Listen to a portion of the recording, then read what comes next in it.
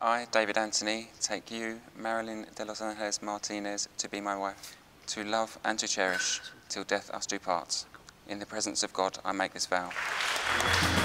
This will be everlasting love. This will be the one I've waited for. This will be the first time anyone